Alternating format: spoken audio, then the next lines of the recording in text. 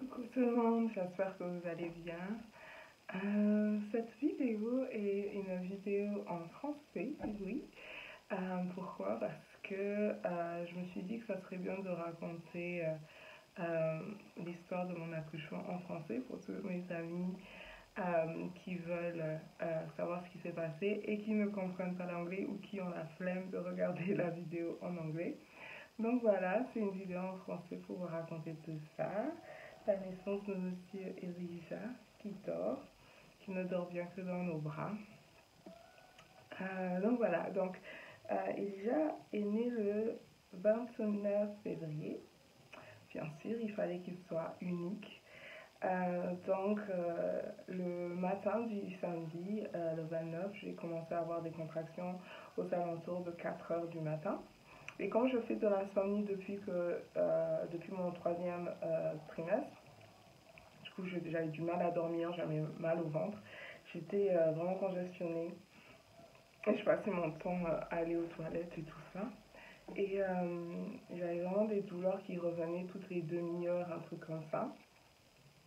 Et donc, au bout d'un moment, vers les, vers les 4 heures, non, pardon, vers les 10 heures du matin, je suis déjà à la midi, vers les 10 heures du matin, euh, je commence à marquer euh, le temps en, me disant on va voir si c'est vraiment des contractions. Pour le moment, je ne pensais pas que ça en était. J'étais J'étais vraiment loin de me douter que euh, c'était des contractions parce qu'il était censé naître le 1er mars. Donc, je me tiens le 29. Et dans ma tête, je me disais vraiment que parce que c'est un premier-né, euh, il va mettre du temps à venir, il va peut-être mettre une semaine après la, date où il est censé naître. Donc dans ma tête, je me disais vraiment que ça ne pouvait pas être ça. Euh, donc du coup, on time les... Pardon, on time, je parle aussi en anglais. On, marque les contractions, les intervalles de temps et tout ça. Et euh, c'était vraiment aléatoire, quoi. C'était vraiment toutes les 10 minutes, toutes les 5 minutes quelques secondes quelques minutes. Enfin, c'était vraiment aléatoire. Donc du coup, moi, je, je continue ma journée. Euh, je voulais regarder Le Seigneur des Anneaux, donc euh, on s'est mis Le Seigneur des Anneaux. Euh, mais bon, toutes les genre 10 minutes, il fallait que j'aille aux toilettes parce que je me sentais vraiment mal au bas du ventre. C'était vraiment là, comme si vraiment j'étais constipée en fait.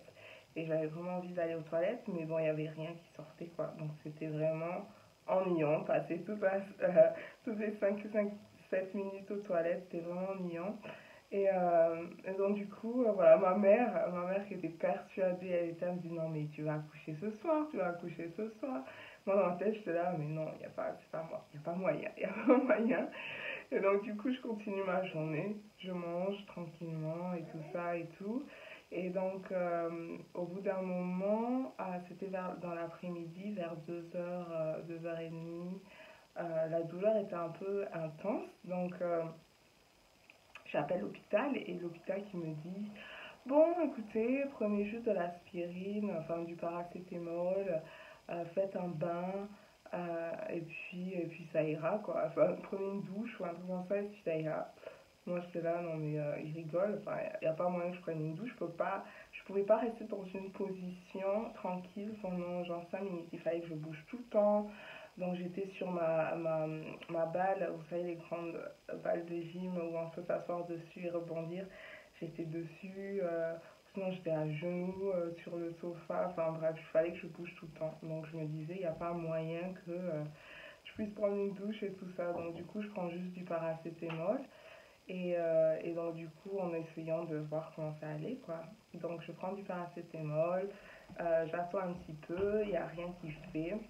Et là, on était vers 5 heures de l'après-midi, 5 heures ou 6 heures de l'après-midi.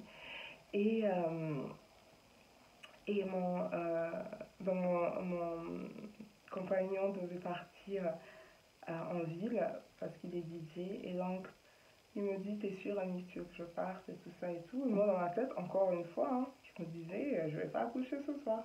Donc, je lui dis, non, c'est bon, euh, vas-y et tout ça et tout. Au pire des cas, euh, je te je un texto, je prends un Uber. Enfin, bref, voilà quoi. Et du coup, il s'en va. Et genre, même pas une heure et demie après, l'intensité des contractions était tellement forte que j'appelle l'hôpital et je leur dis, euh, euh, parce que avant ça, j'avais aussi vomi mon repas. Alors là, ça a été vraiment quand j'ai vomi mon repas, je me suis dit, c'est bon, je vais accoucher ce soir. je sais pas pourquoi, ça a été le moment où je me suis dit, ça, c'est le moment, quoi. Euh, mais je pouvais rien garder dans mon ventre, en fait. Donc, et puis quand je, je les ai appelés à l'hôpital, leur dire ce qui s'est passé, je n'arrivais plus à parler. Quand, quand il y avait des pics de douleur, les contractions, je n'arrivais pas à parler. Donc j'étais là dans ma tête, c'est bon, oui, je vais accoucher ce soir. Euh, avec le retour, avec le recul, je me rends compte que, bah, oui, quoi, il y avait tous les signes toute la journée euh, que je devais accoucher, mais pour, je sais pas pourquoi dans ma tête, peut-être qu'inconsciemment, je me disais, non, tu vas pas accoucher, comme ça, je vais pas paniquer, tout va bien se passer. Bref, du coup, j'appelle l'hôpital, ils me disent, bon, écoutez, venez. Du coup, j'appelle un Uber, le Uber arrive et il est tout content, enfin, tout content, normal, quoi. Il est là, alors, comment vous allez? Et moi, j'étais vraiment là, j'en avais, euh, c'était vraiment chaud et je lui dis comme ça, je vais accoucher. Et il me dit, ok, d'accord. Alors au début, il conduit tout doucement, tu vois, parce que j'avais tellement mal que je m'accrochais euh, euh, à la enfin au truc euh, à la portière en haut et, euh, et j'essayais vraiment de, de, me soulever, de, de, retenir mon poids parce que tout, tout ce qui se passait sur la route, je le sentais, tu vois. Et, j'étais là. Et puis au bout d'un moment, il me dit Vous voulez que j'aille plus vite? Et là, je dis Oui, s'il vous plaît. Et donc là, il, commence, il fonce. L'hôpital est pas très loin de chez moi, donc c'était genre aller à 10, 15 minutes de chez moi. Du coup, ils foncent, on arrive à l'hôpital. Il y a ma mère qui était avec moi, bien sûr. Heureusement que ma mère était avec moi. Euh, et donc, du coup, tant, euh, tant, bien que mal, je monte euh, en salle d'accouchement, enfin à l'unité d'accouchement, au service d'accouchement. Enfin, j'avais trop mal, j'avais trop du mal à, marcher. Donc, du coup, ils me prennent, ils me mettent en salle d'observation. Et là, c'est là que ça commence la douleur ça commence à monter, à, intolérable, quoi. C'est, vous savez, le genre de douleur vous insultez tout le monde, vous savez pas ce qui se passe, vous, êtes, vous voyez rouge. Voilà, c'était là, c'était le moment. Euh, et là, ils m'auscultent et tout ça et tout. Ils me disent, bon, ben voilà, on va, ça va commencer, on va vous mettre en salle d'accouchement. Et là, je me rappelle de mon plan de naissance. Et je leur dis, euh, oh, est-ce que je pourrais accoucher dans une baignoire? J'aimerais beaucoup avoir une naissance dans l'eau. Et euh, il me disait, il n'y a pas de problème tout ça et tout. Euh, donc du coup, il prépare la baignoire pour moi. Je me mets dans le, dans le bain chaud, ça fait un petit peu de bien. Euh, enfin, ça fait du bien. Mais bien sûr, quand j'étais en pleine douleur, c'est relatif. Donc, et là, le, le, travail commence. Quoi. Et là, c'était une alternance de pause, contraction, pause, contraction. Et c'est vraiment, ça va de, c'est de plus en intense c'est vraiment graduel en fait. Euh, et à chaque fois que tu es en pause, en tout cas pour moi, c'était comme si mon corps, en fait mon corps a pris le dessus hein, dans tout l'accouchement, euh, mon corps a pris le dessus et euh, et donc du coup quand j'étais encore c'est les contractions, tu souffres à mort, tu cries comme une carrée. comme un animal, et puis après, quand la contraction est finie, c'est comme si tu redescends dans un moment de, dans un moment de calme, mais c'est pas vraiment le calme, c'est un peu le calme avant la tempête, c'est un peu un calme, euh, un repos forcé avant la prochaine contraction qui va être encore plus intense. Donc c'était des alternances de ça. Donc, euh, donc voilà quoi, c'était euh, sympa. Non, pas du tout. et du coup, les sages-femmes étaient autour de moi, très encourageantes tout ça. Ma mère était avec moi aussi, me tenait la main et tout ça. Euh, j'ai envoyé un texto, bien sûr, à, mon compagnon en disant bah, ça, y est, c'est le moment. Donc, du coup, lui, il a dû trouver quelqu'un pour le remplacer en ville. Il a foncé euh, jusqu'à l'hôpital. Et euh, il est arrivé, il est arrivé genre 40 minutes avant l'entrée au monde de monsieur.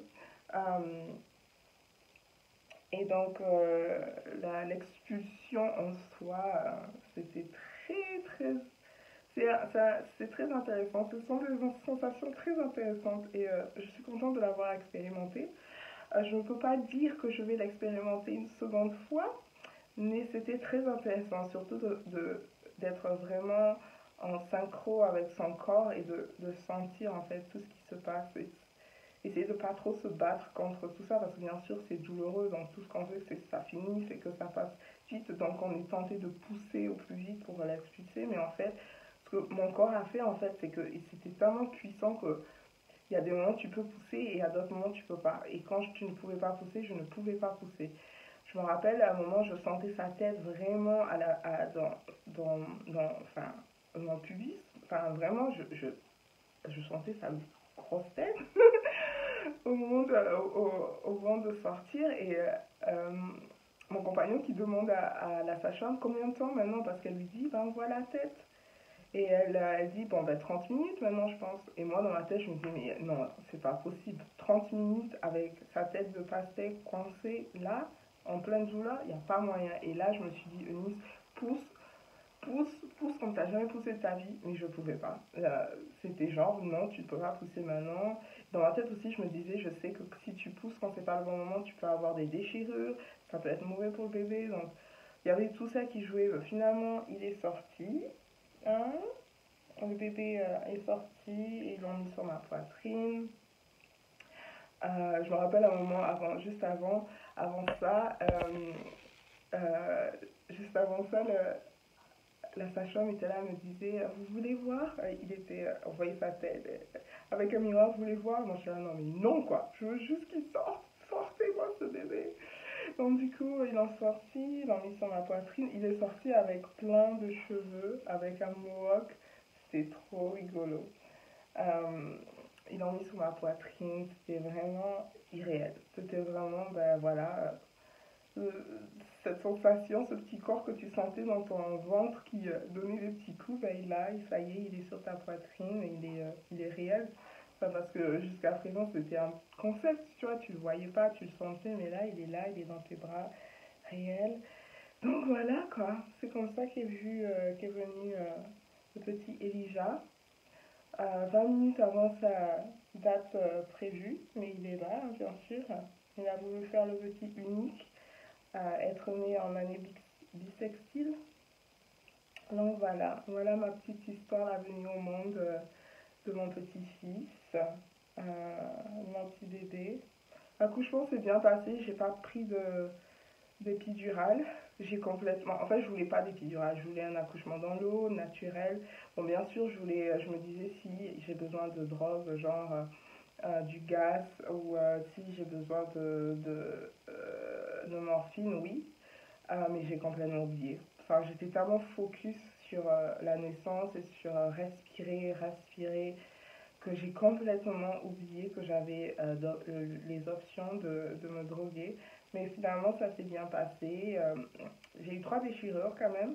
Et je les ai bien senties, quand sa tête est passée, j'ai bien senti que les déchirures allaient euh, être euh, hmm, costauds, mais, mais voilà, ça s'est bien passé en gros.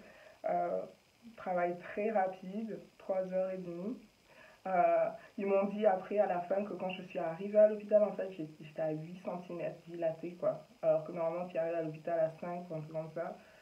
J'étais déjà à 8 cm, donc voilà. Euh, donc voilà, finalement tout s'est bien passé. Euh, rien de vraiment surprenant.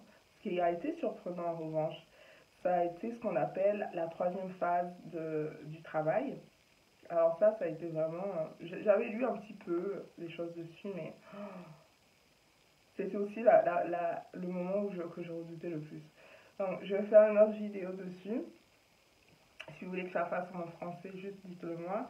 Euh, mais je ferai une, troisième, euh, une autre vidéo pardon, en parlant du, euh, de la troisième phase du travail, qui est quelque chose dont on ne parle pas souvent, parce que je pense que c'est un peu comme une histoire d'horreur, mais je pense que c'est bien d'en parler pour savoir, pour que les femmes qui sont enceintes sachent à quoi s'attendre.